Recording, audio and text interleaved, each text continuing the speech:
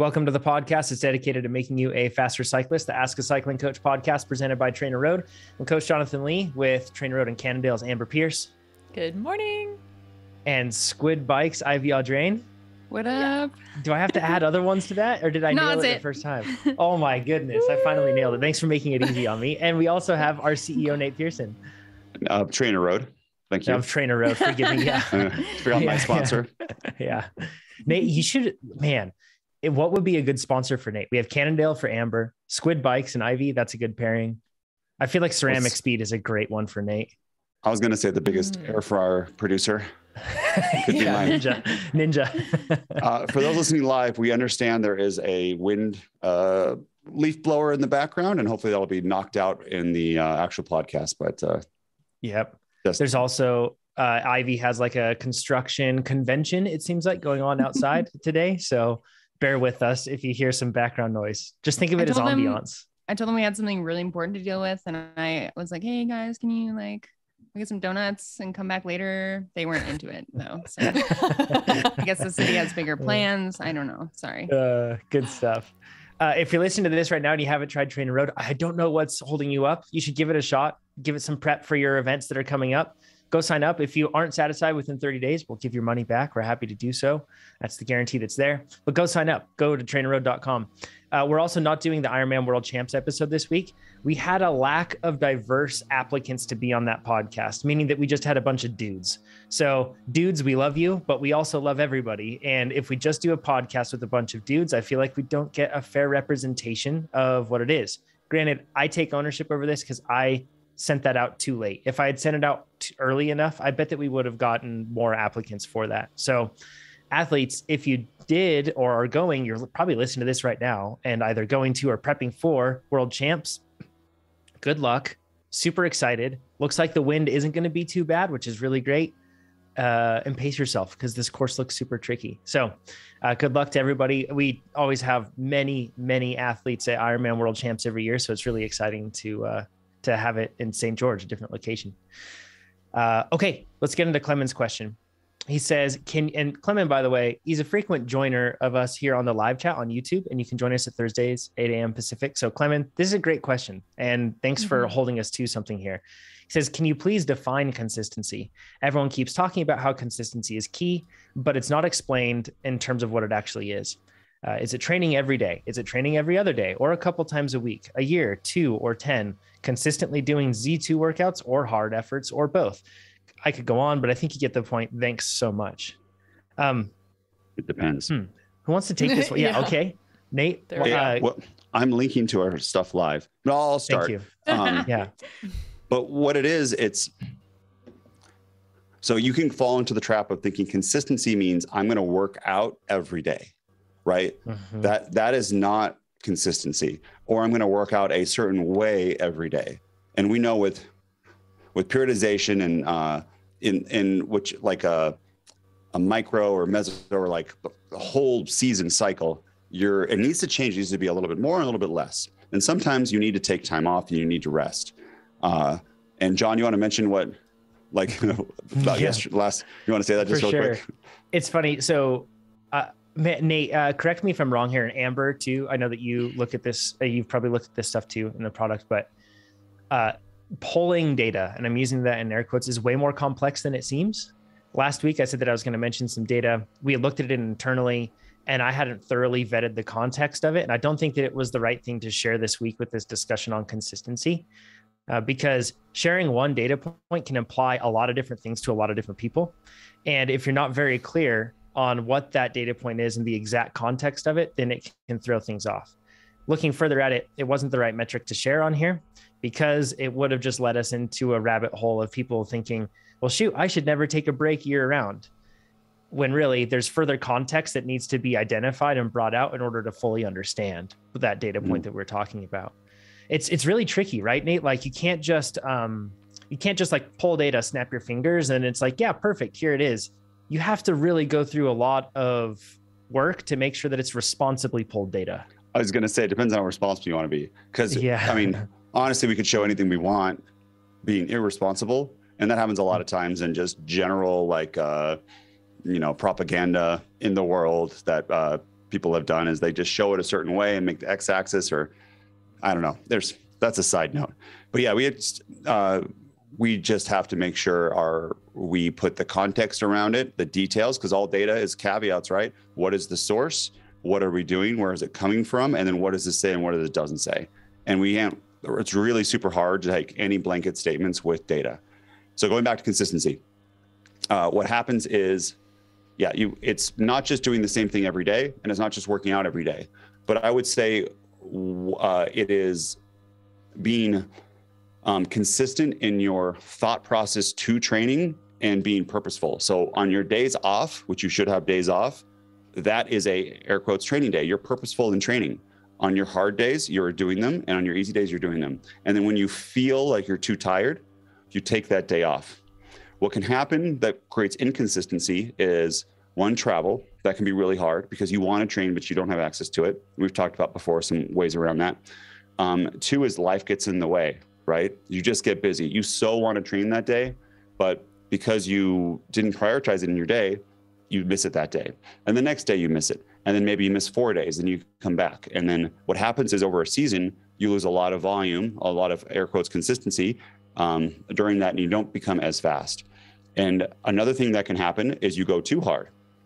You go too hard on a workout. And then what happens after that is you uh, can't do your next workouts. You have to take more time off than you wanted to. Um, another thing is you might be um, eating not enough, right? And so you want to do this stuff, and then by the you're not fueling enough, and then you can't be as consistent. You get tired.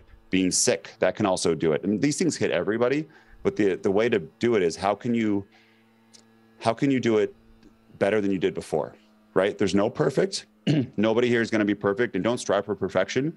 Just strive for uh, better, right? Like it's it's good. This is better than I did it before, and I feel good about this. And the biggest thing for consistency, I think, especially coming from me, this is my personal opinion, is not doing too much too soon and holding back, staying at that eight, seven, or eight the whole season. Oh my, I've fallen this trap about a zillion times. You get motivated, you, you, know, you had a week of vacation, and you're like, you know what? This is training camp week. We're gonna we're gonna do uh, 15 hours uh, it, who cares? I only did six Manic. hours the, the previous weeks, right? yeah, but it, it you get into this thought of like I need to catch up, and and then you get the yo-yo of you go hard and easy, and if you can just hold back a little bit, you know what? You go uh, today, 90 minutes sounds pretty good. You can use our little workout alternatives feature. Go down to 115. Like you do that, what you're doing is your your um, your future self is going to be uh, so thankful that you did that because you'll be able to not push yourself over the edge. Um, so, anyways, you go two ways: push yourself over the edge, or you get too busy, or actually push yourself over the edge too. You get unmotivated. That's another way. So, prioritizing the day to make sure you can do these workouts, fuel your stuff, get your sleep, and then on the other side is don't do too much, and then that makes it so that over a season you can do your workouts. When you do need rest days, some people we've seen world champs right three days a week. It is crazy, mm-hmm. like age group mm-hmm. world champs, not pro world champs. That's a whole different thing. And don't compare yeah. yourself to them. Right. It's not yeah. like don't yeah, that's another thing. Don't look at the the world champions. Amber, you know this, right? Like us mortals can't handle. Like Amber did what 30 hours of like training since you were like eight. Yeah. Uh, 30 hours a week. like like 20 to 30 literally, right? Mm-hmm. How many hours were you sw- like when you were 13? How many hours a week would you swim? Oh gosh, I don't remember exactly, but I mean it would it would vary between 20 to sometimes 40 hours of training a week. That wasn't always pool time, but that would include like dryland and weightlifting and things like that. So it was a lot. Was yeah. Lot. So w- what I'm saying is to consistently for you is not don't compare yourself to somebody else. John can handle so much more volume than me. And when I tried to do John's volume, I was slower. When I reduced mm-hmm. my volume and took more rest, I was faster, which is crazy. I try to do yeah. 20, I do one 20 hour week, I'll be dead for a month it, it, crazy, right? But Amber, she's done it since she was like a little kid, and it's not that big of a deal for her. John, too, huge backgrounds in sports, not as big of a deal. I, Ivy, how much volume can you handle a week? Um, right now, the most is like 20. And 20. it's like so hard. I have to just stay on top of eating more food than I want to and sleeping more than I think I can. And it's it's pushing it. What you're discussing right now is that edge, right? Where Mhm. if if you make a mistake, that 20 makes it so probably the next week you do 10, right? Because you're like, I am burnt out. Ivy is a pro and has certain like uh, levels of mm, um, aspirations and stuff in a very competitive field.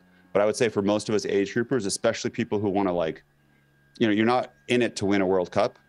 Like if in that situation doing 12 13 14 hours a week you will be you'll end up faster one year later and you'll have more fun and you'll stay in the sport longer and everything everything in life is better you guys ever get that where you overtrain and like everyone is just a jerk like it's just like a coincidence Are you having fun? Like, do you like Weird bikes? Yeah.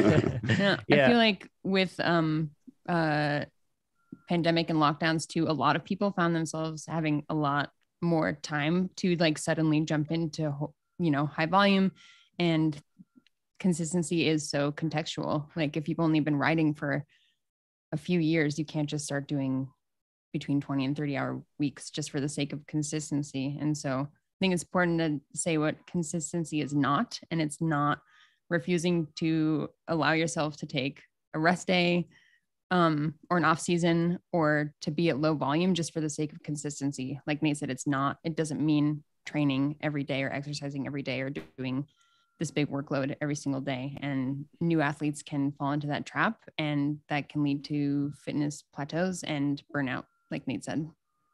we talked about yeah uh, we talked about a lot of different uh like specific examples of this how it, it works in our own lives nate if i could share like a unifying vision a thing that at least helps me with this is i look at it and i think i get faster through the adaptation process so i need to prioritize the adaptation process and what i mean by that is when i train reasonably without blowing myself out and doing way too much then I can recover and train the next day or train in two days, whatever my training plan has. And then that means that over the course of those four days, I'm going to be able to train, recover, adapt two different times. Whereas if I try to really train a bunch and blow myself out, I'm going to need a week or so to recover from that. And thereafter, I'm going to miss out on all these opportunities to be able to train, adapt. It's that dose response relationship. You dose your body with training, it responds by adapting to it. So, one way to think of it is in your training, seek to find the like, uh, I guess, like the, the appropriately tolerable dose of this adaptation process. If you can dose yourself with just enough and then you can adapt and then repeat and repeat and repeat, you actually probably are making more adaptations than training a bunch all at one go, like Nate said, and then having to have your training being thrown off from that. And I think that's why we see so many athletes do so well with low volume plans. Chad mentioned last week allostatic load. And for a lot of us, your life, like just because you have the time, doesn't mean that you can fill all of that with training. Your life may bring stress circumstances that simply don't allow you to recover effectively from a certain amount of training. So as a result, a low volume plan is a great spot to start. We sound like a broken record on this, but this is why because you may be throwing water at an already saturated sponge. Like you, you, you can't take in more. So it, it isn't useful. And in the end, it actually ends up putting you further behind. And then on top of that, then you get frustrated because the training isn't working and you're doing more and it compounds. So uh, as what saving Sarah Marshall, do less. Uh, that's like do less. That's a very important thing for us to learn as cyclists. And if we do less, then we can step up appropriately. I was picturing that scene. Um, yeah. There's uh, what you said too that those two days. Some people, especially older athletes, you might need three. And I know our product doesn't do this right now, but I uh, we have plans in the future. But I would say just push it out an extra day. It's fine. Uh, some people might need four. Another way that is perfectly fine to do it, which is coming relatively, not relatively soon, but you could do a low volume plan, use the workout alternatives. So, and choose a 90 minute or two hour ride. So, this works really well for busy people is when you have your time, extending that one hour might not be so bad, but then you could take two days off and then do it again.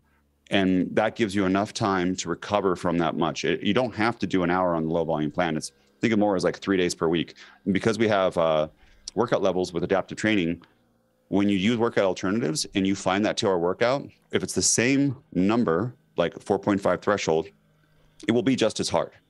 Right. And basically what happens is it, it takes into account the volume and the duration of intervals and, and all of that. And The shorter one will be a little more intense, but the uh, the you'll have more time and zone on that longer workout. And it, it's a really it's a it's a very valid and good way to train. And that's how I I was doing it for a long time because it is tough, right? It's tough to work out an hour, 90 minutes, six days a week. Um, mm-hmm. with with life and business and uh, kids and and all that sort of stuff and then eating everything we just talked about.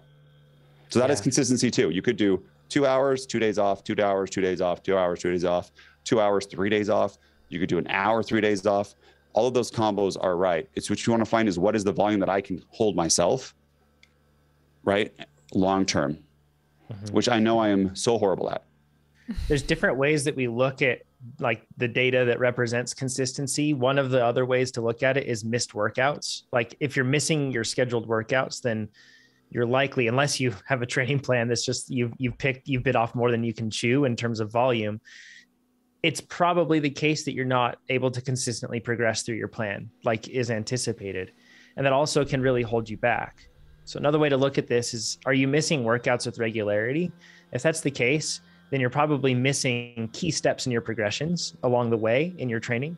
So it's probably best to step back your volume and enable yourself to be consistent and nail those workouts. I, I think if all of us sat back and thought about our training, we have this weird confirmation bias that uh, if we did well on a specific event, we'll look back and say that's the exact reason why we were we did well. Or we'll look back and we'll just assume that a big training block or big rides absolutely had a big effect on us. But if we really were objective and looked back at it, when we were performing really well and our growth rate or our improvement rate was going up, chances are you were just like really consistent. Uh, maybe life was giving you a, a, a, pretty easy load to manage at the time and you were able to just hit your workouts. You weren't doing a ton you were just able to hit your workouts. So what we see by so many athletes when they come in and they train and they get fast in the winter because they're just hitting their workouts. It's simplified. They're using the indoor trainer so it's easy and they don't have to worry about interruptions. And there's all these things that just remove roadblocks. And then when you can consistently hit your workouts yeah you get fast. That's what happens. Um, but certainly the load is something to, to keep in mind with it. So hopefully that answered your your question, Clement. If I was to summarize, what is oh Ivy, please go we, ahead. We should give our athletes some tools to help like self-assess if they think they're riding consistently. So like, are you missing workouts?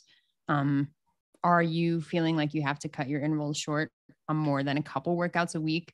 And just like checking in with yourself on how much you're sleeping, how fatigued you feel, like how motivated you are to do the workout. If all those things combined feel like it's not sustainable and you're missing, you know, workouts during the week consistently and cutting things short, um, time to look at your volume. Yeah, that's really key too. And so we have uh, progression levels, right? And that says what level you're at. And if you're doing a workout that's very close or it's achievable, let's say, let's say your level four threshold, and your next workout is a 4.3 pretty small jump. It is hard.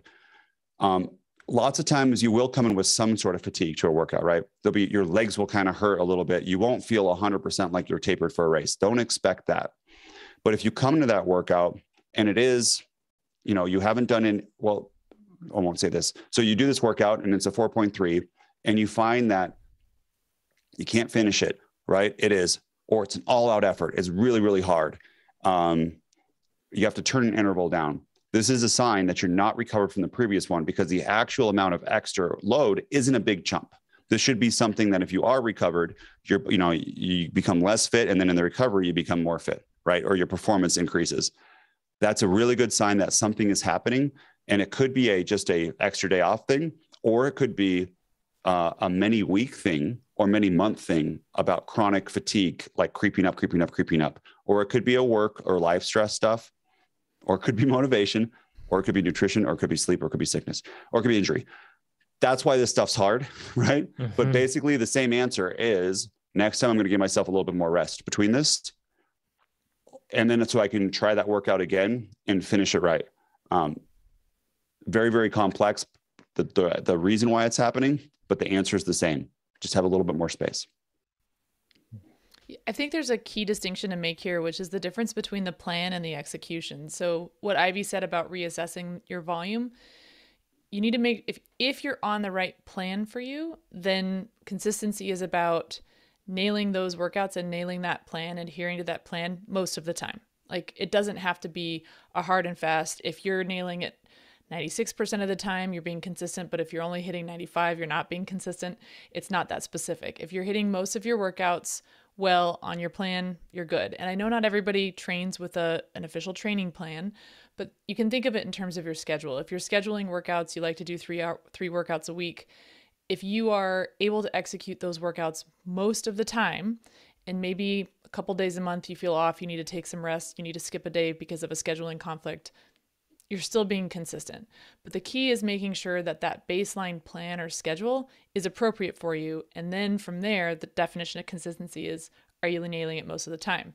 So the execution is where the consistency comes. But in order to be consistent on executing a plan, the plan has to be the right plan for you, um, or the schedule has to be the right schedule for you. So if you are scheduling six workouts a week for yourself and you find yourself missing two or three a week, like Ivy said, reassess what your plan is or what your schedule is and that becomes kind of your target or your objective. And then as long as you're hitting that most of the time you've probably found a good spot for yourself.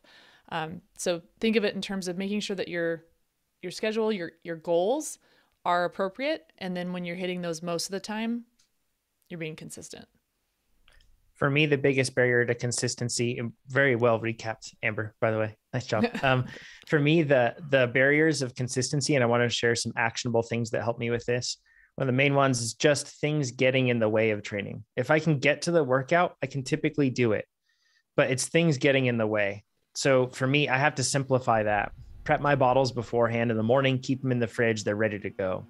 Have my shoes all by the bike, everything set, I'm ready to go I have Trainer Road open and it's easy and I just jump right in. It remembers my devices. That way I don't have to worry about device issues. If I have all of those things laid out so that it reduces friction in between me and getting to that workout. Another big one, and I know this seems obvious, but scheduling your training time on your personal calendar. That way, that is time that you set apart for it. Uh, it, not everybody has the luxury to be able to just put it on my calendar and it's not interrupted and that's just is what it is but you we can try to do our best with it. The more effort we put into that it means you'll have less effort that you need to put into just getting on and get doing your workout. It's a huge thing for me personally. On the other side i see a lot of athletes question their training plan first or question their training volume when they aren't questioning things like nutrition and sleep which are two really big things. If you're not able to complete your workouts, I think Ivy already alluded to this, so I don't want to run in a circle, but really look at what you're doing to be able to enable yourself to train physically. And that's the nutrition side and that's the sleep side. So hopefully that's some actionable stuff that pairs with this answer to Clement uh, and everybody else listening. This is like advice that all of us, all four of us here need to hear obviously mm-hmm. i think we all talked about how we weren't great at this not perfect at this that's why training's a struggle right so uh, anything else to add on this one before we move into carson's question all right carson says i'm just a few races into my second season of criterium racing and now racing with the a and b grade fields instead of the c and d grade fields much like Nate's Cat 5 to Cat 2 in a year video, video series, go to youtube.com slash TrainerRoad to check that out. Nice job, Nate. Uh, says, I have a significant power advantage over most cyclists I was racing against in lower grade fields. So I relatively, in quotes, breezed uh, through the upgrade process. But now I'm stuck and can't seem to unlock how to win in these higher grade fields. Firstly, I was a mediocre rower in university for a few years and I developed a big aerobic engine with the constant training and racing. I've always had a facility for shorter, shorter threshold efforts around eight to 12 minutes and this carries to the bike. My ideal finish is a break when everybody else is not yet focusing on shuffling into position for the final or for the finish of the race. So I'm assuming that's somewhere around eight to 12 minutes to go is when this athlete likes to, when Carson likes to go. While this approach was effective in lower grades, I can't seem to break away from the field now. Typical re- typical representation in the criteriums I've been racing is a mixed bag of a few small 3 to 5 person teams with strong riders, a couple big but unorganized clubs, and about 10 very strong riders that seem to all have a chance to win. I assume those 10 are like individual riders, not riders on a team. I used to do the Amber and Pete advised approach. I assume it sounds like Carson's watched our race analysis of sitting in an efficient position in the back of the field, then taking advantage of momentum when the field slows to have a high speed differential when I reach the front of the field, discouraging them from following. This is a tactic that Nate has also uh, shown in his videos. It's one that works well for Nate too. When I do this now, it just seems to move me up to the front, but I can't get separation. Oh, that's the worst. Like you're planning this huge attack and then you just sit on the front pulling everybody instead of getting away. The most confusing part to me is that these riders are not following common advice of never being the one on the front doing the work. In fact, everybody seems to be happy to put in time pulling the field along at a pace that's fast enough to not let you rest, but not fast enough to have a meaningful impact on the field. So yes. why are they on the? he says. so why are they? Uh, Nate's already getting in his last bit. So why are they on the front like that instead of strategically placing their efforts? Why does the momentum tactic not work? And how can I leverage my strengths against these higher higher grade fields to start winning again? And if curious, Carson says I have a 375 watt FTP at 86 kilograms. Nate, that sounds really similar to you at peak. I think that you Except, were close to yeah, that. Yeah, maybe at sea level, but yeah. that's strong. That was really strong. Yeah, uh, and and Carson also says our courses are mostly flat. so even though he's 86 kilograms. It's not like he's racing something like Tulsa Tough on Crybaby Hill, where it's like super mm-hmm. steep and punchy. Yeah, I want to go before Amber because she'll have the right answer, and I want to know if I'm the right answer. So basically, so that eight to 10 minute break, and that's like a few laps to go probably. Mm-hmm. The issue is when you get to these higher categories, people work as a team. And when you try to do it eight or 10 minutes solo, it is so easy for two, even two riders to do like a two two minute efforts and then you're back again. And they're not just going to let you go because people are going to work as a team with a sprinter. Even if it's a team of three people, this is very possible. And in like uh, NorCal, like a, a one two or a Masters one two, that happens all the time. The only way that this works is if you're in a breakaway with representation from the other teams. That might be your jam because then you could break from that group. But if you try to break from the peloton, they will chase you. Um, another thing that you could, well, actually, I'll I'll save my stuff. Uh, mm. Amber. I actually want to hear from Ivy on this one because Ivy cool. actually has notes in here, which I think she nails it. So I, I think Ivy needs to jump in. Thanks. Awesome. Uh, I loved reading this question, and I w- it felt kind of mean, but I was like, "Welcome, Carson! Like, welcome to the bike racing experience of not being able to just roll off the front all the time." yeah. Um, but this town sounds totally right. Um, they're having to catch up mm-hmm. on the soft skills of maneuvering through a field that they didn't have to when they were so much stronger than everyone and just got to roll off the front. Um, so this is totally normal. It's it's not an unheard of or like unusual experience. Um, it's just this is the time for you to catch up on that stuff that you didn't have to before because you were so much stronger than everyone. Um, so the biggest takeaway from Carson's question of why are they pulling a field along at a pace that's fast enough to not let you rest, but not fast enough to have a meaningful impact on the field. They're controlling a race. Those people doing that are on the front because they're trying to control the race for some reason, or they're doing it on purpose because of how many laps to go. They're like trying to be first to a corner. Everything that they're doing is for a reason. Um, and because you're not able to su- successfully attack in that environment when they're on the front like that um, it's for a reason and so this is um, you know this is the time for carson to um, learn who is doing what successfully and just try to learn from those riders and see what they're doing um, because ultimately they're they're beating you. So even if it doesn't make sense that they're sitting on the front at certain times and burning a match when when you don't understand why they are, there's a reason for it.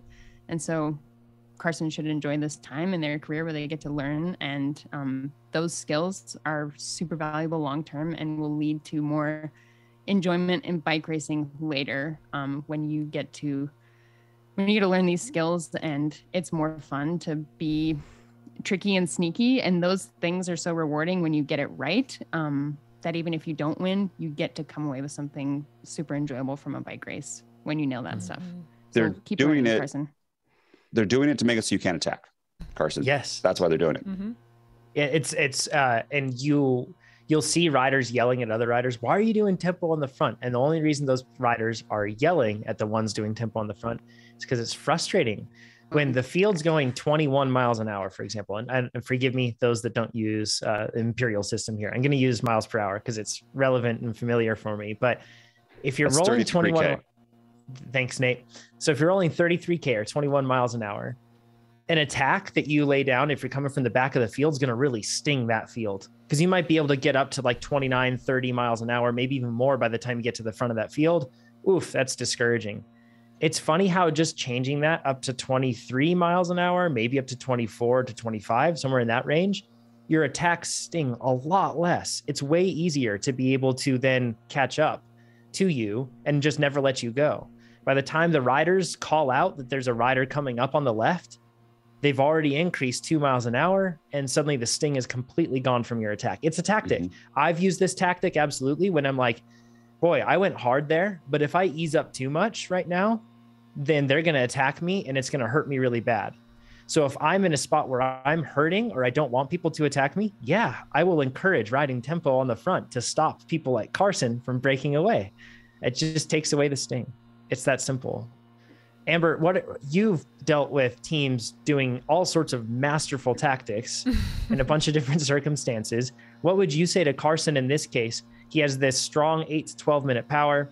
He has savvy riders that are controlling the field like Ivy said. What would be the way for him to win? Do you see one or do you just have actionable tips for him to help him learn? Oh yeah, definitely. Um, both. so first of all, I think both Nate and Ivy nailed it. Um, absolutely right. And I think that one thing I've noticed over the years with athletes who are, yeah, um, Oh, wait, They this just way. internet, internet zone, they zoom five I- each other. Yeah, yeah. Things you miss if you don't join in on YouTube. I know, right? um, so when you're getting started in racing and you're racing in the lower categories, categories with you usually have less experienced riders and you'll also have a much broader range of fitness levels and experience levels. So there is a lot more room to make mistakes, um, to play around, and to be a little bit less ruthless and surgical with your tactic tactical execution. Um, and one of the things that you can get away with in the lower categories is saying, okay, my strength is eight to 10 minutes at threshold, so I'm going to attack eight to 10 minutes before the, the finish. That doesn't fly in the upper categories. In the upper categories, you have to actually really think more closely and focus more closely on what is the terrain what is the wind what are the dynamics within the field who am i racing against? So you're you're less racing you still have to play to your own strengths but now you really have to figure out how are you going to play that against what's actually happening in the race. Um, and this is exactly what's happening. You're trying the same thing as you did before with no success because as ivy mentioned and as jonathan mentioned and nate the overall speed of the field is faster. So instead of looking for the opportunity to attack eight minutes before the finish, now you have to think, okay, how do I attack when the dynamics of the field are going to present an opportunity for me to get away? It's a very different way of thinking about the race.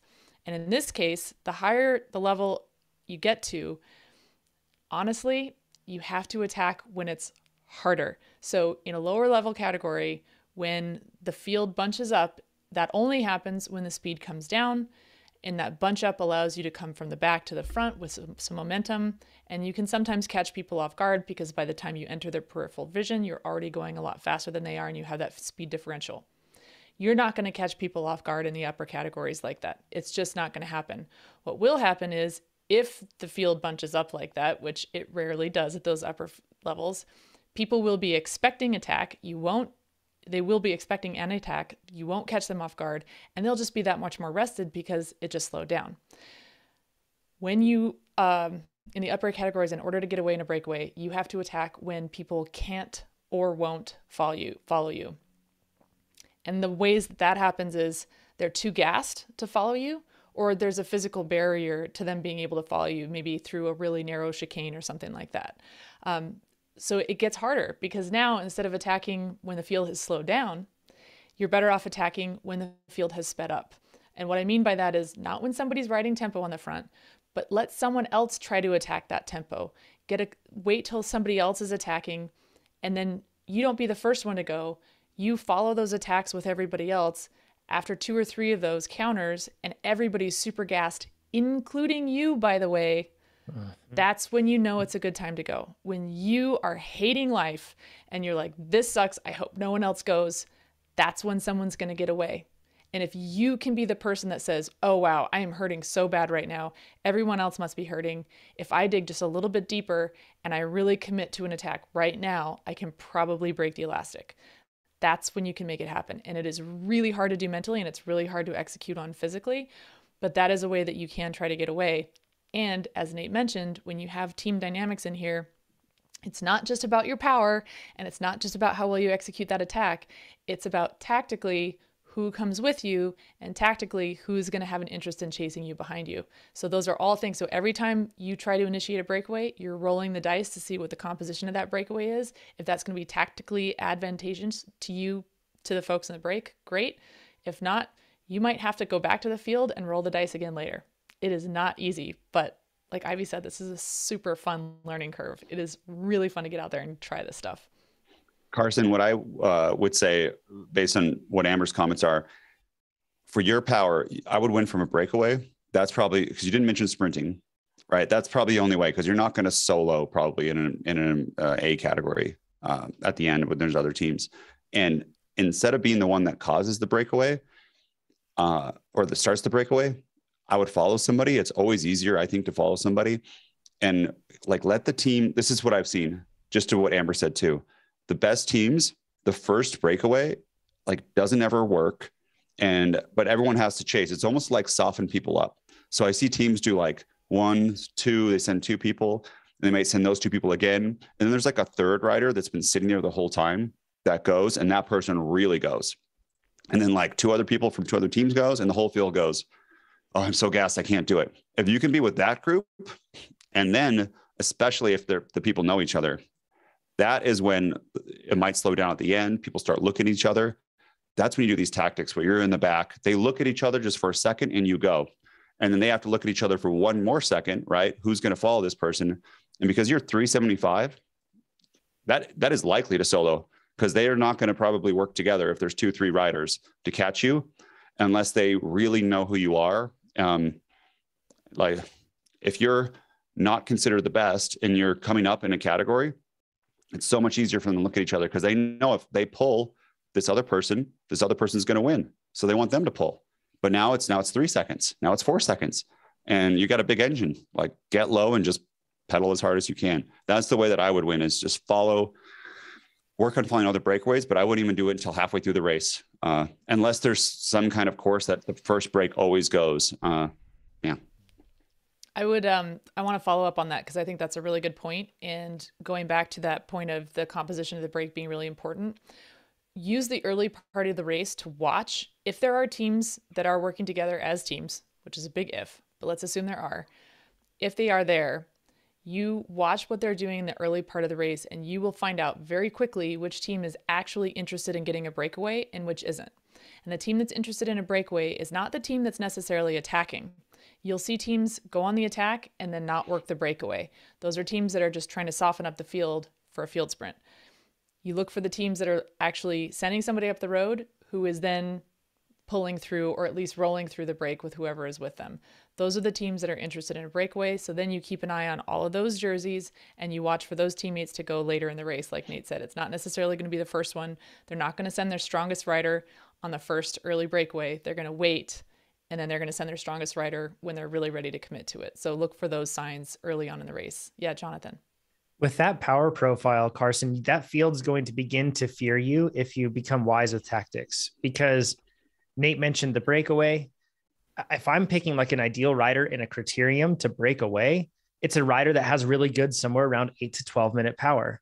Because with a breakaway, remember, it's not that you push extremely hard for the rest of the race it's that you put you're able to push hard enough to get a gap and then control that gap thereafter. That's a very important thing to understand. It's you can ride slower than the field strategically later on in a breakaway, and it's okay. They can catch up a little bit, it's fine. What you're trying to do is just discourage them from thinking about bridging to you. And if they can't bridge to you, then they are not, or if they think they can't, they won't do it.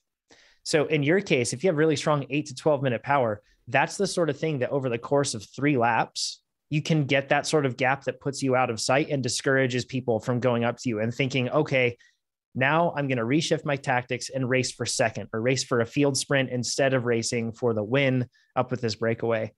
So I think that you actually have it, right now, like Amber said, you're just placing your skills in the wrong circumstances to be successful. Instead, mm-hmm. it's placing them, like Nate said, in the breakaway to be successful.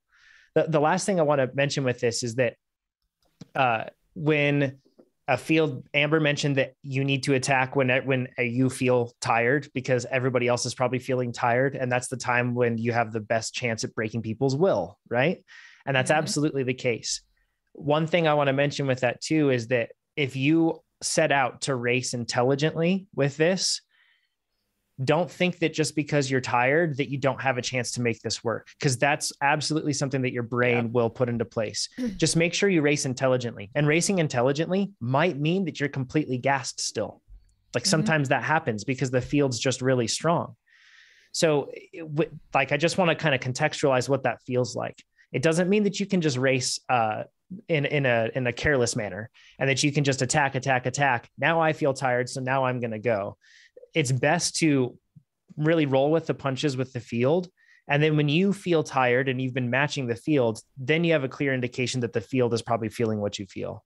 If you just race aggressively like I do oftentimes and just attack yourself and counterattack yourself, well, then you're going to be tired, but that doesn't mean that it's the right time to attack.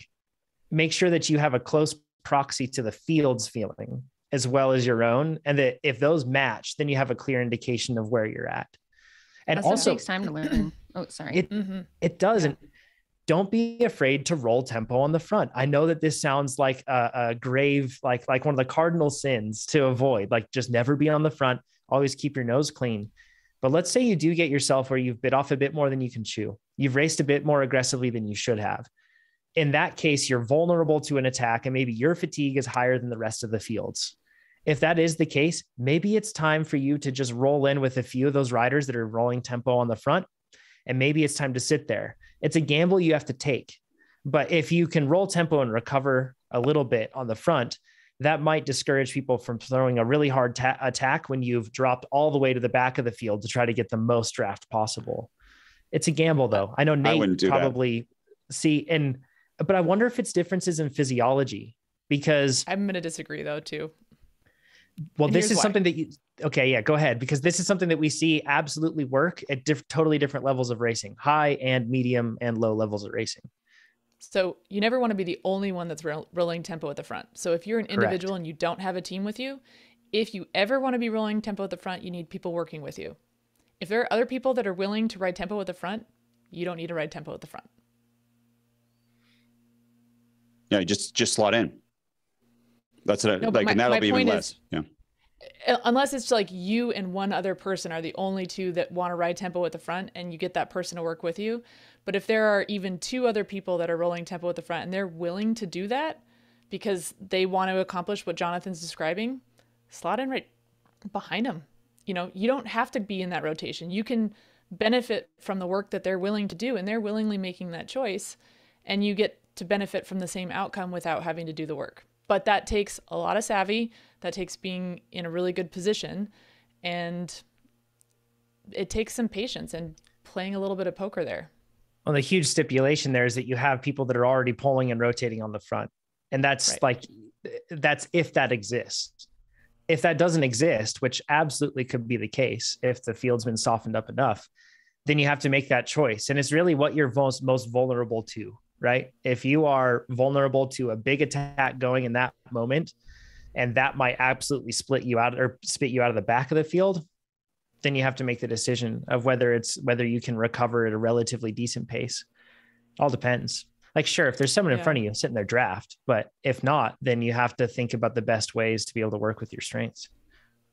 Uh, you're never going to be able to like tire the field out by yourself no. If there's like a four rider, like or three riders, I've seen that where someone just keeps breaking and everyone else has to go. But there, there's no way for you to like tire out the field. Um, so don't think that your breakers are like, oh, I'm just tiring them out over and over and over again. This happened in our first cat three. John's like, oh, I made it feel so tired, right? And you had like a 300 watt NP for like 20 minutes. And mine I did, NP though, in that race. This is different than yeah. you weren't tired because you were sitting in but look at how few people were able actually to follow the move at the end and able to actually go with you. I think it was two or three people tried. because I'm super it. strong. But I But that's why this is totally it's totally different though because it's dealing with we're talking about different fields. See if if Carson's racing in the lower field, I bet this works just fine. And there may be people Mhm. in that situation. I'm but sure in these tired fields where it's harder, then it's different. you tired some people out, but his his NP was 300 or more, and mine was 220. And that's Mhm. just because I was surfing inside, and because it was such a big field, and it would it'd be bunched to elastic. I could, like John said, I, I'd float back, and then uh, when it slowed down, I'd float up, and I'd float back, and I didn't have the accelerations that everybody else had, and that really, you know, allowed me as a bigger rider to do a big hit at the end. Uh, but and John too, what tired people out is your big hit at the end because it was strung out and it was positioning, and we went into a chicane. It was like all those things together. John at the end, um, it's no, that's the one that camera went out at the end, didn't it? But well, we have some video. Yeah. Yeah. Um, John strung it out, so therefore positioning, as Amber said, people couldn't get around. We're going really fast, and then we went into a chicane, uh, and then it was so strung out. I think there was a crosswind too that then I could go. And so with that crosswind, people couldn't get a draft in anybody. It's strung out. So for someone to catch me, they got to come up like six extra riders, right? Or four extra the riders wind. in the wind, right? And I think the Mm-hmm. person behind me, too, if I remember this correctly, he was very strong. He's over five watts per kilo, but he was also like 130 pounds. And that was the perfect rider to have on my wheel because there's a crosswind and I have a very strong but uh, not huge FTP rider. So then he gapped, which was the best situation for me, right? To have someone like that. If I had Carson on my wheel, Carson probably wouldn't, it wouldn't have, I wouldn't have gone because Carson would have been able to have some sort of draft to the side of me and and stay on. But all of those things lined up that made it really, really good at the end. And yeah, the, the race was hard and there were attacks and stuff. But I'm just saying John alone could not make the whole field tired for John to win. John Correct. can make the field tired Yeah. to help a teammate win, but not himself. Yeah, Mhm. that's the key difference there. Like there were probably six riders that I had marked as in these riders could win, these riders could win. And they wanted to win so badly, they just kept following all my attacks. I'm the sacrificial lamb. Like, you know, I'm not going to sprint at the end, but I'm I'm going hard enough so that they know that I can win and then they just get completely blown up by trying to follow all of my moves while you were just letting yourself slide through the yo-yo, you know. And John was easier. like, I want to work out this race. He goes, I'm just going to work out. And what's Yeah. awesome on the podcast too at that time, uh, John is a strong rider, but everyone was like John, John, John, John, John. And the of first, uh, yeah, the, well, I remember putting my shoes on before the race, and someone's like, "If you get dropped, don't worry, it's not a big deal. Like first cat three." And I was like, "Okay." uh, yeah. And then he actually afterwards said, "I thought you did get dropped, and then you won, which was awesome. That's the best, right? You don't Mhm. Amber Ivy. How often does that happen? You don't see the person who wins until the very, very end of the race because they've been sitting in the whole time. How often does the person who wins in the upper categories where you see them the whole time being active the entire race? In the upper Never. categories, never. Yeah. I can't Never. think of a single time I've seen that. Yeah. Yeah. I do want to follow up one thing. Um, Carson, you're viewing yourself as a threshold rider and you're very much zeroing in on the strength of being the eight to 10 minute threshold rider. I really want to encourage you to train your sprint. And the reason for that is you're not going to be able to use momentum alone to initiate a breakaway in the upper categories. You just won't. So even if you don't anticipate becoming a pure sprinter, you need to work on your sprint because you have to have a snap in order to initiate, in order to create a gap to get a breakaway going.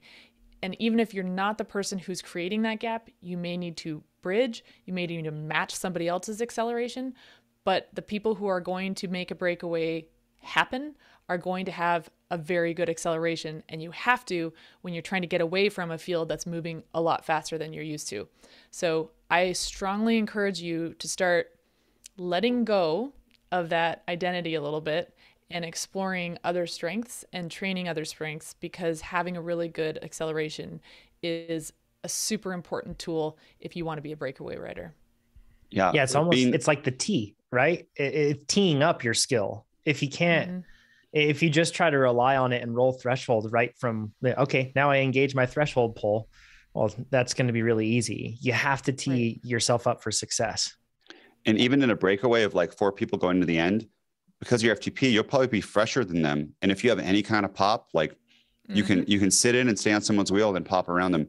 Uh, being a similar size of you, if you can do, mm, so I was sprinting around like twelve hundred or even eleven hundred sometimes at the end of a race.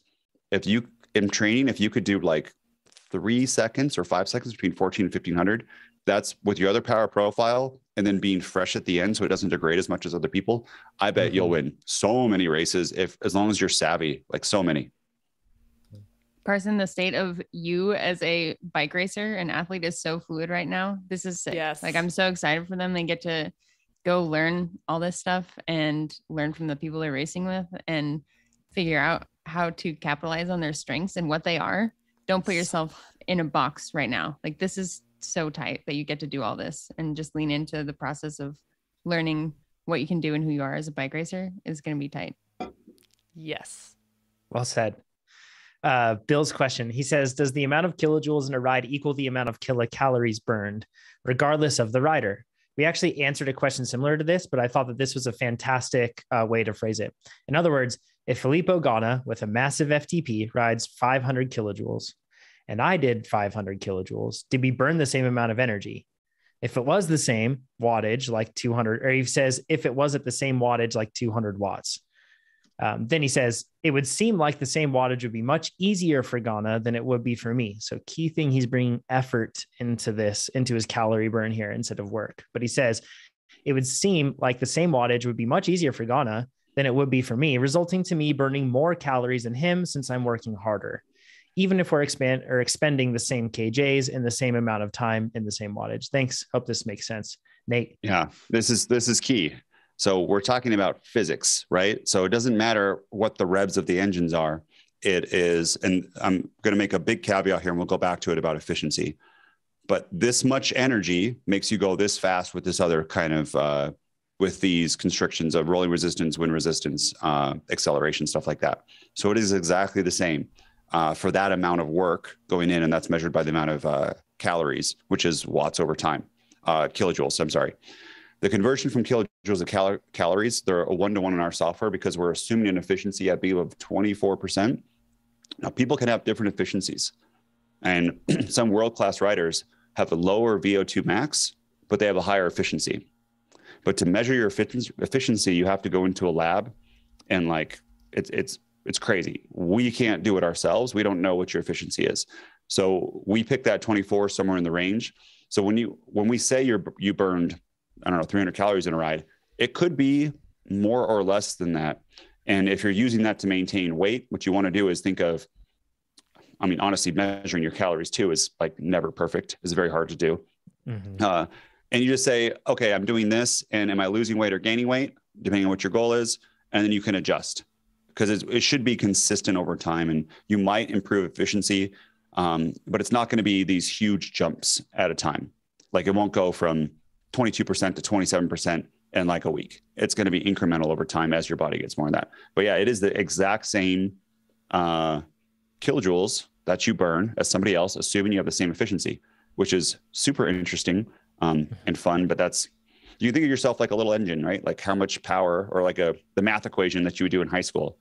How much power this way and this way? That's what it is. Doesn't Yeah. care how what how hard it feels to you.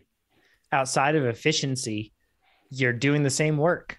So then as a Mhm. result, it's the same.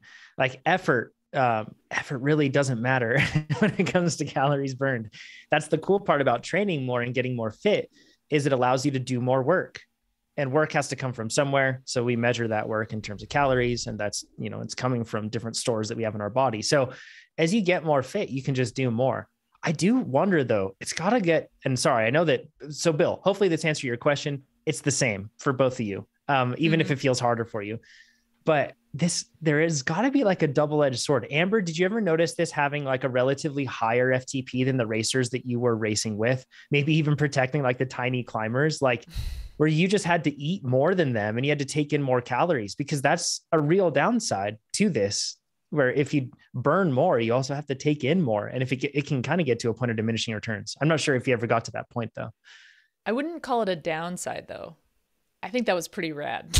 I, if you're Filippo Ganna and you're like a f- over 500 watt FTP, that's hard. Like hard to fuel that work. Like if he's just It riding there at tempo versus me riding Yeah. at tempo, boy, he's like he's he's No. got to really take down a ton It of fuel. depends.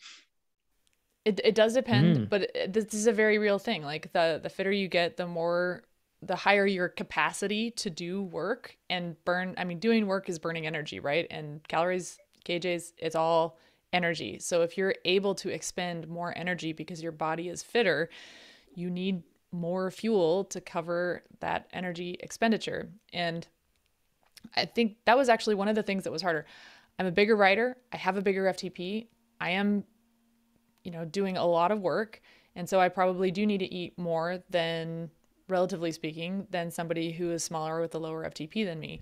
Um, and honestly, like in the pro ranks, that was really hard because there was this not super healthy, like, uh, surveillance, I will say, of team meals sometimes where it was like I'd be loading my plate up because I know that I need it, right? For exactly the reasons that you're you're describing. And so my plate's gonna look a lot different from somebody's plate next to me. And sometimes that was a little challenging because I was feeling a little bit judged about that. But the very I mean, the very just basic truth of the matter is yeah, sometimes you need more and not everybody needs the same things and you need to figure out what works for you and what you need and and honor that. Honor it no matter what what el- no matter what anybody else is saying. The, Can we normalize not comparing ourselves to world tour riders ever Yes. again at all. Like, Yes. just don't look at that. Don't look at it. Yeah. Sorry. but, ahead. but I'm going to do it right now. Uh, so the, the difference is is when you're uh, when you have a very high FTP, so that- it's same calories, but where you get that energy from your body is different. And if you do have a 500 watt threshold, you're running at 200, that's going to be mostly fat, right? It's like it's like that all day energy that you can go. Where if your FTP is 200, it's going to be mostly glycogen, and you're not going to be able to last. Uh, not mostly, it's it's a lot more. Uh, you're not going to be able to last as long. So in the case that you are a 500 watt rider, and the nice part is that your aerodynamic drag usually isn't linear with your FTP or your size. So it might just be a little bit more, although the drag is exponential. But basically, if you have a, a bigger threshold at the same speed, you're probably on a flat road, you're probably exercising at a lower percentage of threshold, therefore not using as much glycogen, therefore not needing to fuel as much relative or not losing as much because on these hard races, you're probably it's just a attrition, right? You you lose over time rather than gain over time. And those things combined on a flat road makes it a big advantage for the, the the larger rider. Now, if there's accelerations or going uphill, it's different. But flat, high speed, I think you're advantage bigger rider for eating. and that's not really typically how they use Filippo Ganna in races, though. so they want him at the front rolling high speed, and he does it for a long time. Tony Martin was a good example of this after he was such a good time trialist. And then after that, he was just the super domestique, and he would ride at the front of the field at extremely high amounts of power and just tow them along at a really high pace for a long time. Like it, it's But- it's something that a lot of athletes. So this is circling back to what Amber said. There's this pressure we have to starve ourselves and to not fuel the work and that absolutely exists. And if you're a larger rider you have greater pressure on you social societal pressure to do that i think. I think that's just a reality mm-hmm. and it sucks but i think it's there so then you get into a situation where you're you're you have a higher amount of power than the riders that you know ride with anything else and you may fall into a trap of undernourishing just because you aren't appreciating how much work you are doing when you go out for a ride. I'm not saying that when you're riding at the same at, a slow pace with a bunch of riders, but just when you go out riding, you're just doing more work than Mhm. what a lot of other riders are. As a result, you need to fuel the work. Yeah. So it's an important thing to keep in mind. Like uh, we talked about, yes, if you and another high FTP rider ride at the same exact wattage, yes, it's the same, relatively speaking. But then if you're just going out and training, tempo for you burns more calories than tempo. Like tempo for Nate burns more calories than tempo for me because that's uh, his Higher wattage. higher. Yep. higher, higher wattage. Well, maybe not anymore. Uh, well, so Ganna's doing that too to stop Carson's, right? that is Exactly why right. He's Yep. riding at like 27, 28 miles per hour is stop Carson's from attacking. Uh, Yep. Exactly. All circles back. Ivy, do you have anything else to add on that? Nope. Good job, y'all. Cool. You crushed it. Thanks, Ivy. Uh, Calvin says, and by the way, if you're joining us in the YouTube uh, chat right now, give the video a thumbs up. There's lots of you in there. Mhm. Give it all a thumbs up. Then that way it will get to more cyclists. Uh, and if you're listening on whatever podcast app, rate this podcast five stars. That is a huge help for us. I'm going to check before the end of the episode where our ratings are at relative to other cycling podcasts. We need to be number one. Help us be number one. Okay. Calvin says, Thanks as always for your awesome advice. I notice a trend in my energy levels and mood when I'm off the bike, depending on what training block I'm in, and was curious as to whether there's any deeper science to this. Specifically, when I'm in a base phase, I find that I'm generally more spry and energetic from the moment I wake up in the mornings. But when I'm in a build or specialty phase or racing a lot, anything where I'm going over threshold frequently, I wake up and spend much of the day feeling more lethargic. This usually goes away once I ride. So I guess you could say that in these higher intensity phases, my body requires a bike ride to fully wake up, which is not the worst thing in the world. Is this a common trend? And is there any deeper physiology behind this, perhaps relating to increased levels of lactate in the body or something behind just intense efforts making you feel tired? If so, anything I could be doing differently to feel a little more energy while in build and specialty phases? Caffeine. Just kidding. Just joking. Don't do that. uh, Amber, uh, uh, this this isn't like so. I, in this case, Calvin, you're not alone, right, Amber? Like Mhm. this is Yeah. this is something that all of us experience. Yeah, and I- I don't have the deeper physiology behind this, so I want to make that caveat very clear off the top. Um, but this is definitely something where I think most folks feel different in different phases, right? The effect of the type of stress that you're applying to your body in each phase is different, and it's going to elicit different sensations for everybody. And how it affects one person might be different for another. Um, so a lot of this is the old the old chestnut of it depends. Um, but absolutely, I think most of us probably feel different depending on what we're focusing on in training. And I absolutely felt different when I was in the middle of race season than I did when I was in, you know, season prep mode. Um, and a lot of that has, you know, we'll go back to anything that's connected with mood. You definitely want to look into your fueling. That's a huge, huge thing, um, especially when you're going over threshold. That usually means that the work you're doing might be more than what you're used to in an endurance based phase. Um, so I would I would think about you know, are you adjusting your nutrition according to the work that you're doing? So the nutrition during your base phase might look different than what it is during your build phase or your specialty phase, um, and then same goes for everything else that touches recovery. Um, your recovery needs to look different during build and specialty than it does during base phase. So, are you accounting for those things? And that might have something to do with it too. Yeah, I would say Ivy's, Calvin. Ivy's smiling and oh, Oh, ahead. I was laughing because I just finished um a really big block of training in NorCal, and I remember towards the end of it feeling really tired and like sad, and I literally thought to myself, I feel like everyone around me is really annoyed with me. Oh, I should probably just eat something, and then it got better. it's magic. Yeah. so true. Calvin, this goes back to our previous question is this is a sign you're on that edge. And some of those days you say sometimes it feels better and sometimes it doesn't. Uh, so when it does feel better, you're still on that edge. And when it doesn't, you've gone over the edge. So this might be a sign, depending on how often you go over that edge, that you might need to back off the intensity, volume, or increase the sleep and nutrition, or a combination of both. That's that's as simple as it is. And as Amber said, listen to the sensations in your body. Um, some people, but if you always feel kind of like, "Mm, I know I'm going to feel like junk for the first 15 minutes, but then you always feel better afterwards. And that happens time and time again, and you keep getting faster. Don't worry about it. But it, if it doesn't go away and you don't want to train, like the motivation starts going down, you start, start not finishing workouts, back it off a little bit or increase the food and sleep um, or both. Yeah. Mm-hmm. The just one last thing on the on the recovery part too. As you go into these longer or these phases, maybe you're working in more group rides, unstructured rides, and maybe what you're doing is you're not sacrificing any one of your workouts and you're just adding on that stress of the group rides. Life also just gets a bit more busy usually as we get to warmer weather in the northern hemisphere around this time of year. maybe you've got more engagements with kids or with work or with uh, friends, anything else like that. and that's adding up to it. Remember, you can't just operate, you keep your training in a vacuum. It's a part of your life, and your life is constantly changing. Uh, Nate's mentioned this on the podcast how, and he had a period of time when TrainerRoad was first launching where he was just full gas on TrainerRoad and time off of training. Then he had a time where he really focused on training. These days, he's focusing more on TrainerRoad.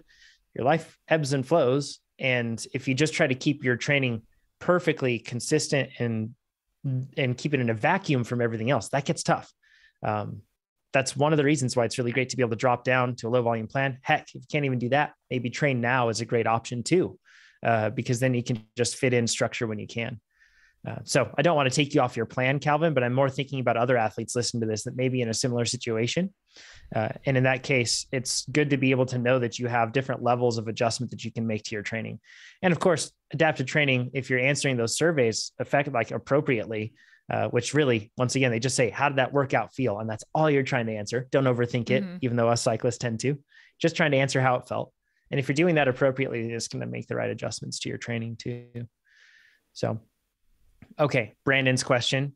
He has two of them. He says, I've been using TrainerRoad for a couple of months now and I'm happy with it. I have two unrelated questions which are listed below. First of all, thanks, Brandon. Go to trainerroad.com and sign up if you haven't. Be like Brandon. Uh, he says erg mode versus standard mode. In the podcast a few weeks back, Jonathan mentioned that he always uses standard mode rather than erg mode. I understand the difference between the two, but can you speak to any particular advantages and why you choose to train this way?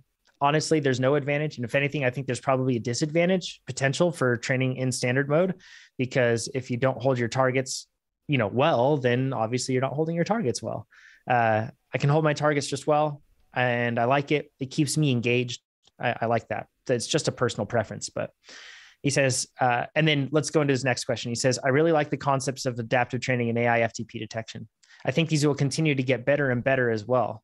I've been on a low volume plan and progressing through it consistently, and the adaptations recommended by adaptive training have been good. He says, uh, however, uh, after missing two workouts and only, only, completing two of the three of another one during a week long nasty cold a few weeks ago, uh, he says, "Oh, I just lost my spot. I'm healthy again and completing the workouts and on with only moderate or easy RPE. As such, I've ignored the suggested adaptations to my training plan. Red flag, Ivy, right? Uh, Ivy deals yeah. with these uh, with people asking these sort of questions on the forum all the time. Uh, so he says that I've ignored the adaptations of the plan and continuing as originally proposed. I guess I'll know how it plays out in the end if I can complete the workouts. I did, however, want to check in with you all and make sure I wasn't letting my ego get in the way of more effective training, as I tend to be just, and he says in quotes, just work harder kind of guy, as many cyclists are. Maybe I can get the same results by following adaptive training's recommendations and easier workouts um, in line with Chad's minimum effective dose rationale, rather than just pushing so hard that my progression or pushing harder just so my progression levels are higher and stroking my ego. Hmm. So yeah. uh, this is I can uh, do this. And Ivy too. I want Ivy to actually. Can Ivy jump in first, and then you, Nate? Is that cool? Uh, I want to say the the company line, and then I'll see what Ivy says. Okay, the, sounds good. So it, it you failed those workouts, you're sick, it's going to drop you back. And then if you were to mark them with those RPs you're saying, it's going to jump you right back up really quickly. But at least we know that you're, mm, we, we will know that you are uh, capable of doing that and you're not going to put yourself in a hole. And that's the most important thing. And if you did jump ahead and you did them and they're not, the RP is not too hard, good for you. But that is there's not many cases where you fail a workout and we're like yeah but really you can do more. Um, and i think that is a trap that yeah. like i said at the beginning this is this, this is a theme of this podcast. We can all fall into is like that was just a bad day. I'll just you know i 200 pound squat crush me but i think i can do 250 next week. Let's just try it. Um, it's okay to come back down to 185 175 and then move back up uh, especially if that one feels easy. So that that's what that's my line. Go ahead, Ivy. Okay. Um, Brandon's statement of adaptive training has been suggesting lower level workouts, even though I'm healthy again and completing the workouts with only moderate or easy RPE. As such, I have ignored the suggested adaptations to my plan. Please stop. Please don't do that. There's a reason that your workouts feel moderate or easy. Um, it's supposed to. Adaptive training knows, and and we here all know that you need to ease back into training um, mm-hmm. especially after injury and illness. And it's you know, we say trust the program and trust it after training. And I know how hard that is for our athletes to just blindly trust that it's that it knows what it's doing. And it's hard when we give our athletes so many tools to reverse engineer adaptive training and to change their plan. And it's so easy for athletes to do that and make these changes because we enable them to, because we we know that most of our athletes also know themselves and like life gets in the way and they need to make changes. And so we empower them to do so.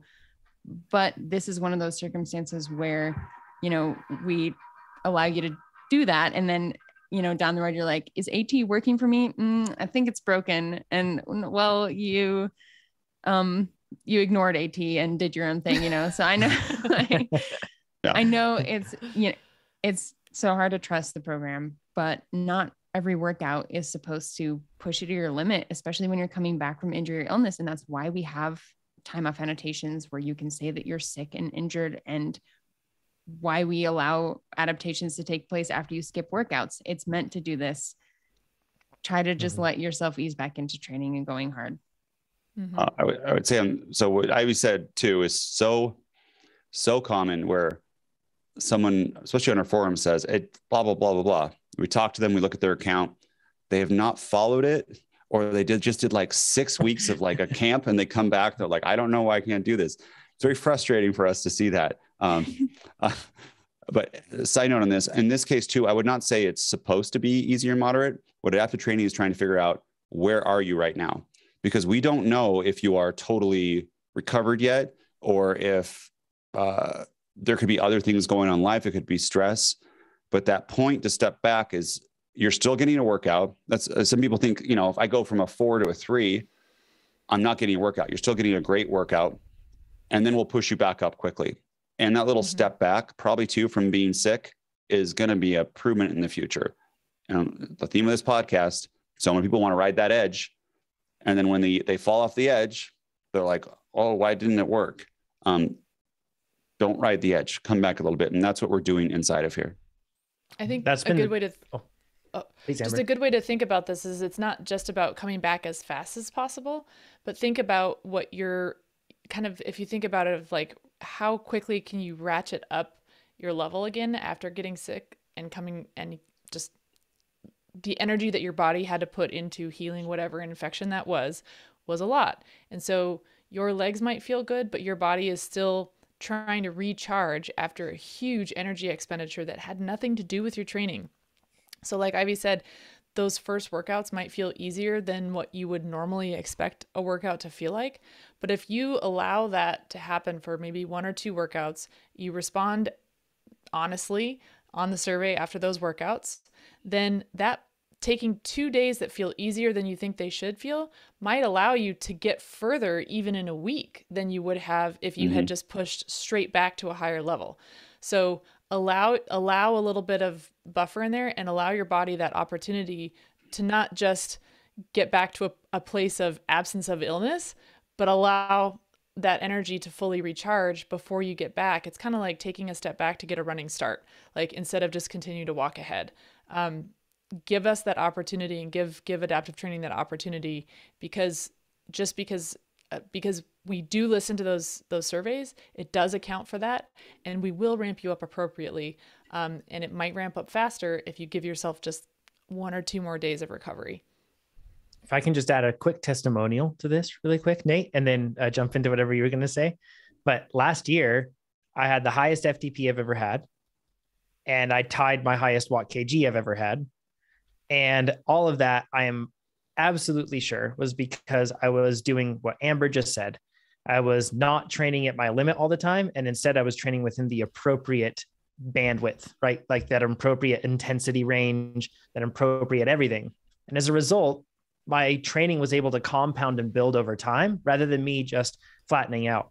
I had a tendency to want to push myself way too hard and not follow a plan. And then with adaptive training, I was like, I need to follow the plan. I need to follow the system so then it can really tell me what to do and I had my best performances as a result of that. And it it did not feel. There were many times where I was like, man, I wonder if I'm training hard enough. I don't feel completely smashed after this workout, and I don't feel completely smashed after the next one. And fast forward a few months, I'm faster than I have been, and it's It's just we're not very wise. We think very short term, personally speaking, us type A driven athletes. We think very short term and we don't understand things that are much further down the way. And that's one of the benefits of adaptive training is it's looking at data on a much larger scale than what we consider with our minds. That's why it works. So yeah, that, it's hard to do that's, though. That step back that Amber talked about, uh, I think what we can think of cyclists is that, oh, this isn't now I've lost fitness. I love the weight training analogy because I think for those who do weight train, it it makes a lot more sense. Let's say 200 200 pounds squat, you try to do 10 or 150 or whatever it is. I'll just use 200 for easy math. Um, you couldn't do eight, and you're trying to do you're trying to do eight. You can only do three. And next week you do 180 and you do it for 12 and then okay now i'm going to go back up but you don't look at that 180 and be like oh now i'm weak now i can't get any like this is going to do nothing it actually does do a lot of uh, stuff. It's just a small reduction and you're still getting stronger. Like you're or maintaining fitness and then you're a little bit more fresh and the next time you go up, up a little bit more. It's that the reduction that it will do is not the end of the world. And as amber said too you can actually go up faster um, depending on how it feels. And if it doesn't if it still feels hard that reduction was very, very appropriate then. And you can step back in. I've, when I get sick for a week, I actually have to go back. I, I step back no matter what. I've never been sick for a week and then been able to continue my training plan, uh, mm-hmm. like in the same progression. I have to step back just the way it is and then move forward. And it, it does take a, a week to get back, but that's, I mean, that's the most common thing for everyone is when you get sick, you get a little less fit and you got to work back into it. Uh, that's just the way it is. So everyone has the same playing field. Yeah. Uh, trust the process. That's what I would say. Keep it going. Trust the process. Okay. Matt's question is super short. I just want to cover this because I heard a great thing that's helped me change my perspective on this. He says, Love the podcast, listening for several years. I've recently run into hip flexor tightness. I'm thinking that he says, I'm thinking I need to raise the bars to change my closed hip angle, but I'm wondering how cleat position and seat position should be edited to help relieve this also. I've been targeting long ultra mountain bike and gravel races this year, and it will be your sixth Leadville. Wow, way to go, Matt! Six Leadville. That's uh pretty. Right that's on. That's a lot of times up Powerline. um, that that darn climb, uh, and says uh, and been trying to break nine hours. Best is nine oh six lowered the front end last year on the steer tube uh, to be more aero, But if this problem persists with my tight hip flexors, the aero gain will be negated with dysfunction. I agree with that. So planning a shop fit, but would love your input, especially Nate as he's taller, but I think I'm similar proportions. Uh, Nate, do you want to give any input on this before I just share the one thing that I wanted to share with this one? No, go for it. Okay.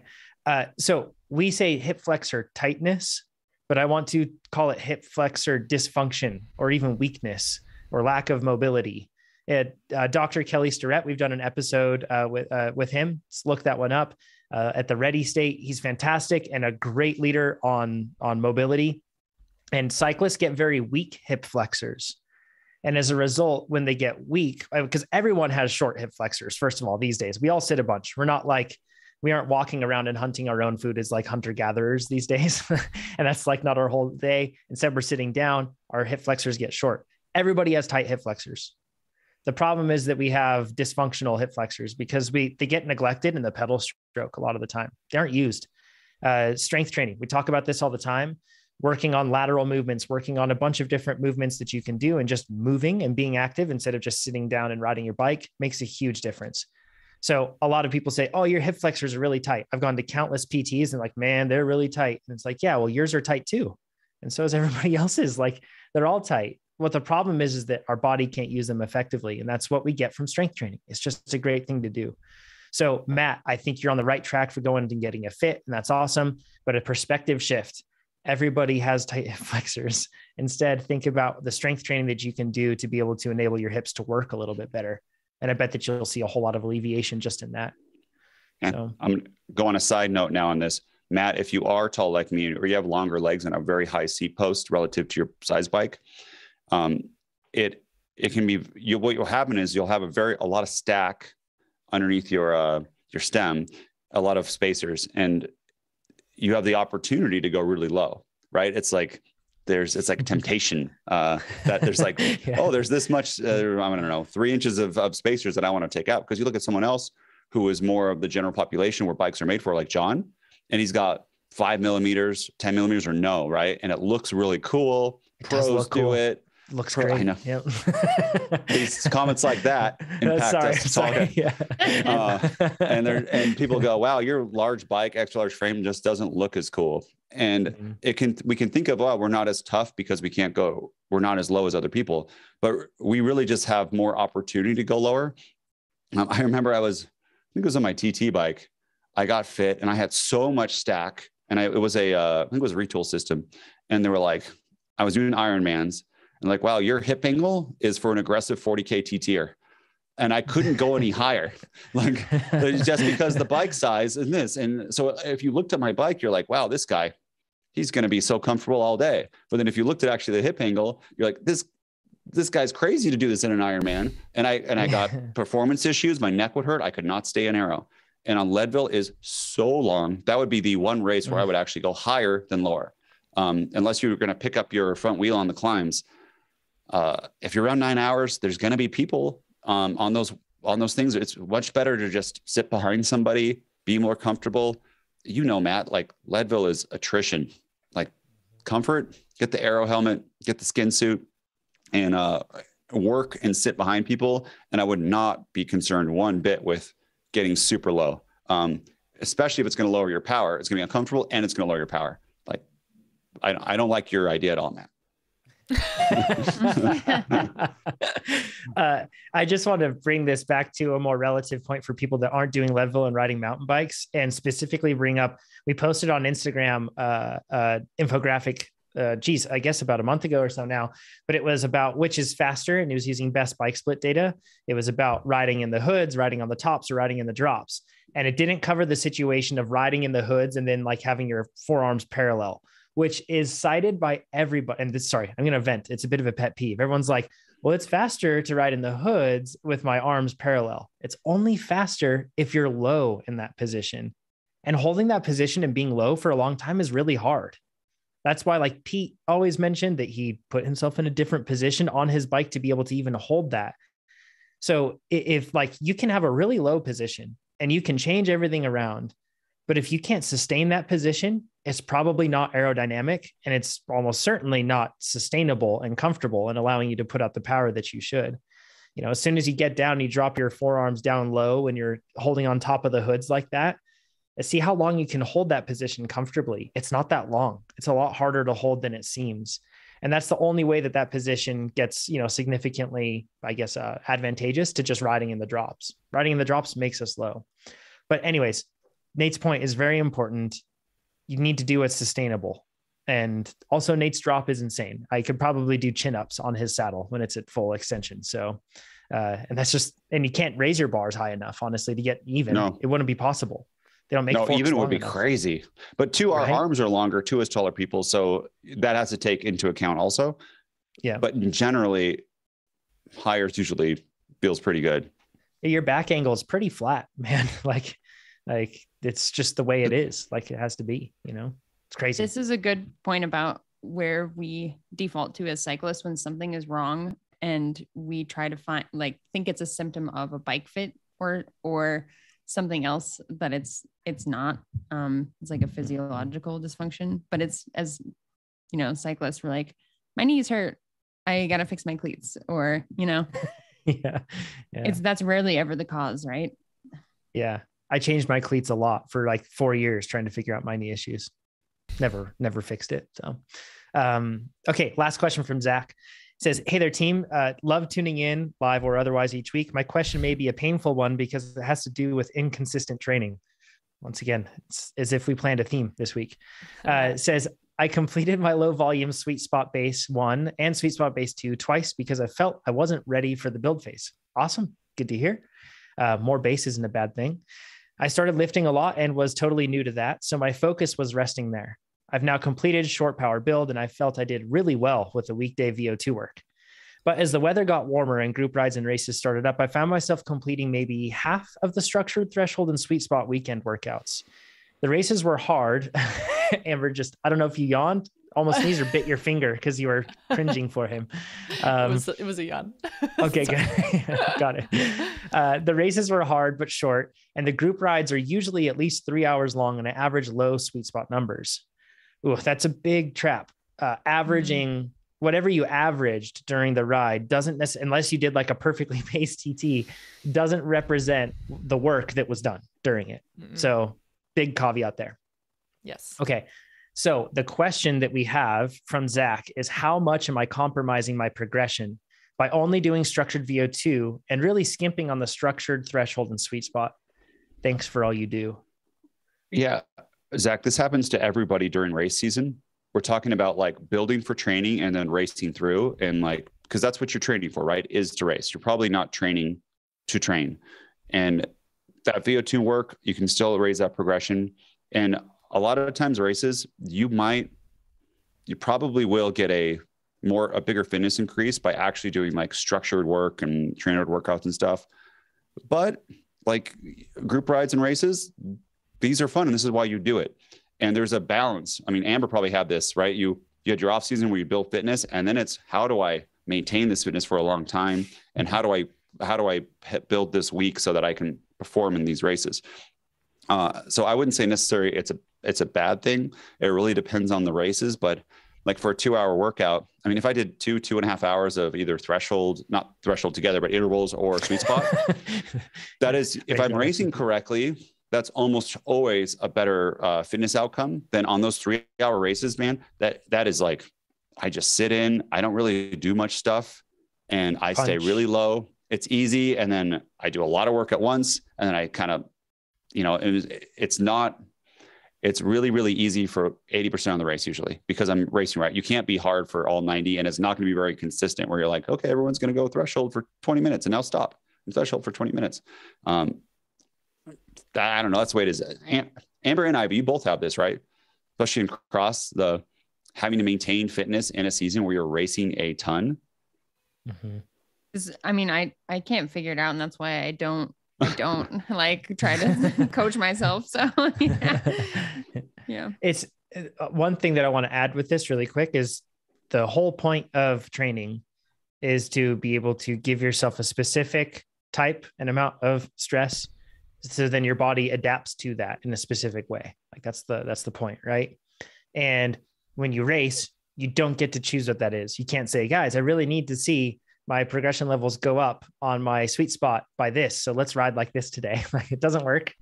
So as a result, a race, uh, while you may get, uh, you know, you may be working on repeatability and improving that in a race. You may be, there may be some things that do improve. Absolutely.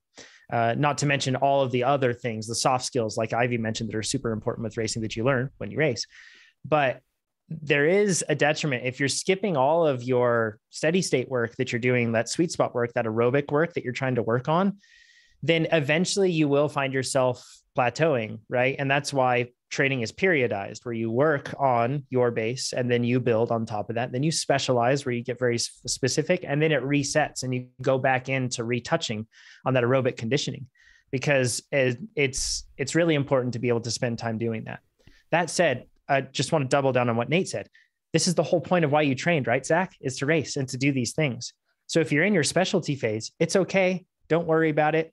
I would advocate for not skipping the sweet spot work if you can. It plays really, it pays huge dividends in race performance. Um, it, it's a very race specific zone in many cases for a lot of athletes and different types of things they do. So spend time doing that uh, if you can. If you're going to toss one out, maybe toss one out that's going to be a bit more replicated by your race efforts uh, then or maybe just drop down in volume. And then that way you aren't skipping workouts you're hitting all your workouts and then you're still able to do all of your group rides or races and still be able to maintain. Yeah the good news is oh oh go ahead. The good news is soon uh trainer will account for all that stuff all of your mm-hmm. outside unstructured rides your group rides and well, adjust your future I, workouts. I don't know how soon soon is, but we are validating our thing. So it's, it's software, so we're not sure. yeah, because if you say soon, Ivy, they will come yeah. for us oh, in the forum. That could mean anything. I said in the forum uh, for another feature, I said up to as soon as one month or more.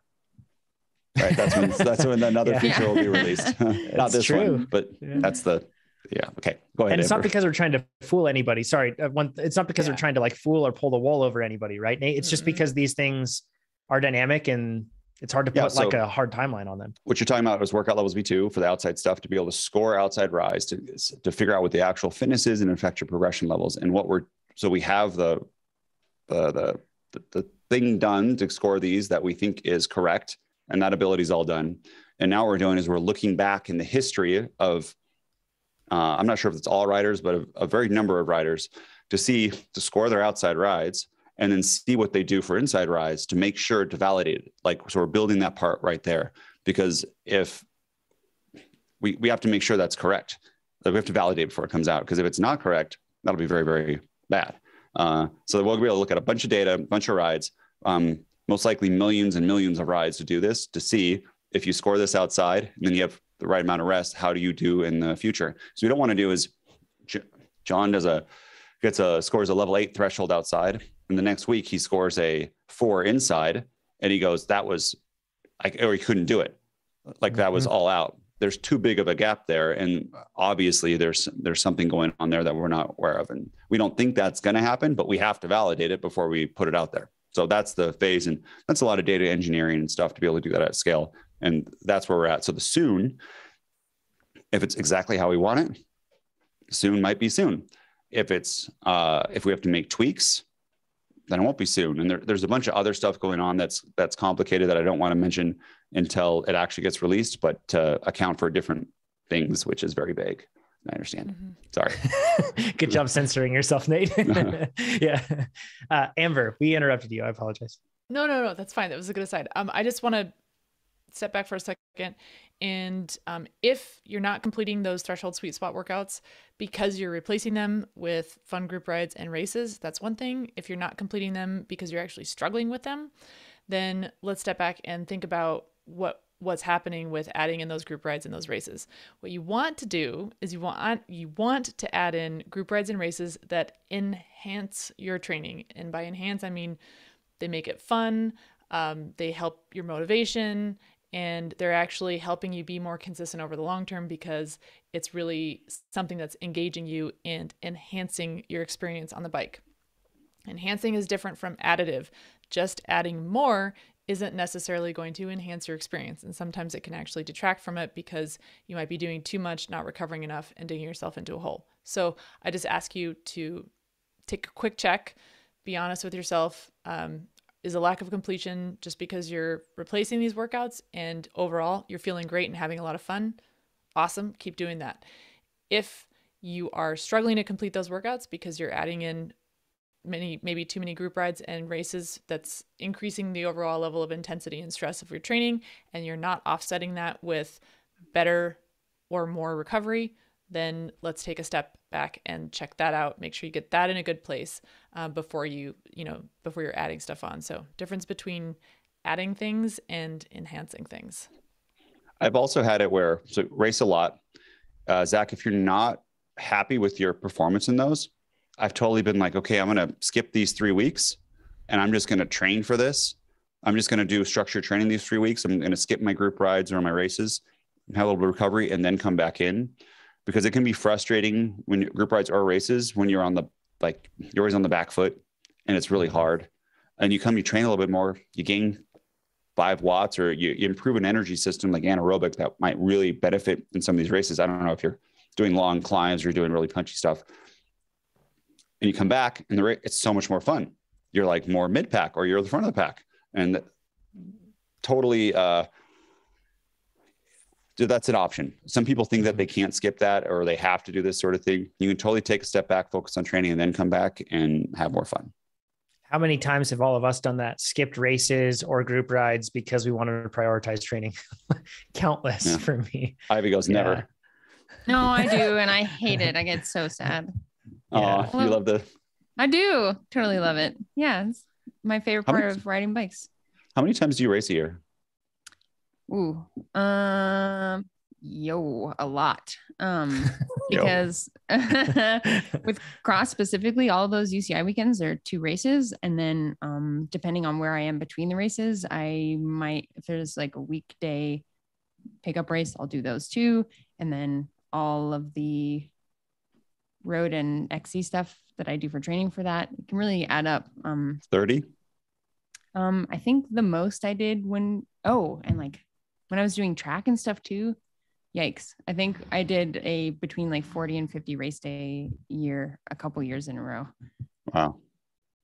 That's That's a big. lot. There's Yeah, 52 lot. weeks in a year. That's a lot. And so when you do that amount of races, how much does your fitness increase versus when you're just in like training phase? Um, hmm. That's hard to measure. Uh, Because race performance could increase with tactics and stuff. Mhm. right. We'll look back at your career and get back to everybody because we'll look at it. Yeah, sorry, it's hard for me to say. Um, and you know, Yeah. it's, it's specifically hard to say with how much I was gaining during those like base training phases and throwing in a race a week that's just for training and not like really trying to give her and perform well just to use it to supplement training.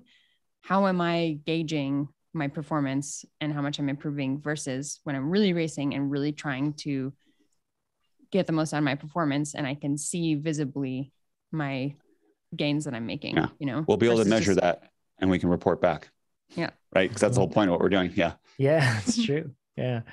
Awesome. I just had Thanks. like uh oh no, sorry. I just had um like horrible flashbacks of being in the Pacific Northwest and doing track like 2 days a week and then there's weekday crit and then two races like a road race and a crit on a weekend and how hard it was and thinking just like not even training ever during the week. You just you go race like 4 days a week. It was so hard but so much fun. Yeah. Yeah. Thanks everybody. This has been an awesome, awesome episode. Hopefully, what we've been able to grasp from it is the importance of consistency and then how to maintain that. And in addition to that, gotten some good actionable tips on how to race better too. Uh, it's been fun. Good stuff. If you're listening to this now, rate the podcast five stars on iTunes and on Spotify. Spotify would be huge. Please do that. That's a big one for us because that's where more and more people are getting their podcasts. And currently, I'm checking right now, but I don't think that we're the leading one. I got to see. Uh, also, if you're listening to this and you haven't gone to TrainerRoad to be able to give it a shot, trainerroad.com, try it out, see if it makes you faster. We're pretty darn confident that it will. So we have, I think, oh, we're getting close to number one. We still need, I think it's 400 people. So Oh. if uh, we have way more than that listening to this podcast right now, many, many, many more, go to Spotify, rate it five stars. It'd be fantastic. And then we'll be number one next week.